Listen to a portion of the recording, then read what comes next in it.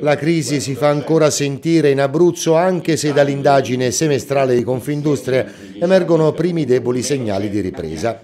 Non ancora sufficienti però a rilanciare consumi ed esportazioni, secondo il presidente Agostino Ballone, che torna a chiedere alla Regione un nuovo patto per lo sviluppo. Sono infatti ancora troppe le incognite che possono far prefigurare una definitiva uscita dalla crisi e tante sono le questioni che vanno aggredite per dare soluzione ai più evidenti problemi. La pressione fiscale, la ripresa degli investimenti, l'accesso al credito, la programmazione dei fondi comunitari e nazionali. Sono stati già avviati dei tavoli di confronto sulla base di proposte e bozze di documenti con le parti sociali interessate. Intanto i dati del primo semestre lasciano ben sperare.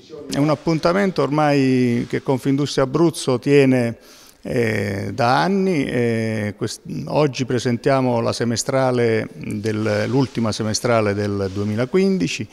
I dati mh, ci confortano nel senso che eh, trova conferma il dato nazionale di crescita, ancorché limitata, eh, e quindi il, la prospettiva per, per, il prossimo, per, il prossimo, anno sicuramente eh, siamo in segno positivo.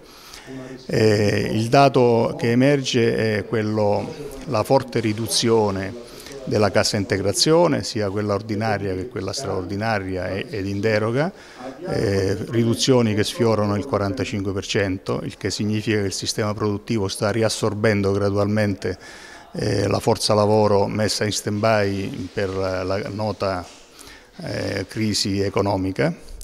Eh, le esportazioni eh, stanno registrando dei segni positivi, in particolare si conferma la provincia di Chieti come la, la, provincia più dinamica sul piano internazionale, ma il dato che emerge anche è che eh, la provincia di Teramo sta recuperando moltissimo sul piano delle esportazioni.